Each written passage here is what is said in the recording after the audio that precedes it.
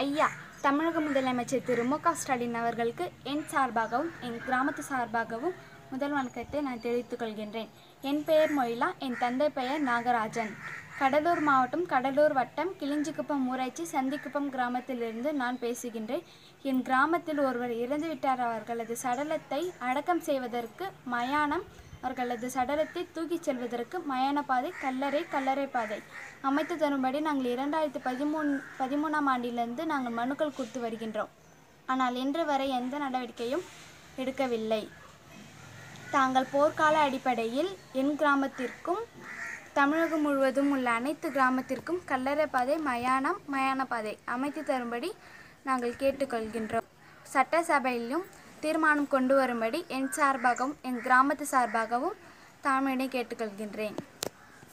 நிலையில் இது வந்து நாங்கள் ரெண்டாயிரத்து பதிமூணாம் ஆண்டிலிருந்து கொடுத்து வந்துள்ள மனுக்கள்.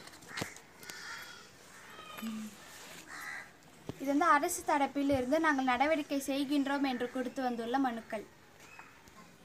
இந்த ஃபோட்டோவை ஐயா இந்த ஃபோட்டோவில் உள்ள நிலைமை தானே? எங்கள் கிராமத்தில் ஒருவர் இறந்துவிட்டு அவர்களது சடலத்தை தூக்கிச் செல்லும் பொழுது இதே தொடர்ந்து நிலைமை தானே வருகின்றது. தாங்கள் இதை கவனத்தில் எடுத்துக்கொண்டு தாங்கள் இதை கவனத்தில் எடுத்துக்கொண்டு என் கிராமத்திற்கும் தமிழகம் முழுவதும் உள்ள அனைத்து கிராமத்திற்கும் கல்லறை மற்றும் கல்லறை பாதை மயான மற்றும் மயான பாதை அமைத்து தரும்படி என் சார்பாகவும் என் கிராமத்து சார்பாகவும் தாழ்மையை கேட்டுக்கொள்கின்றேன் ஐயா. நன்றி.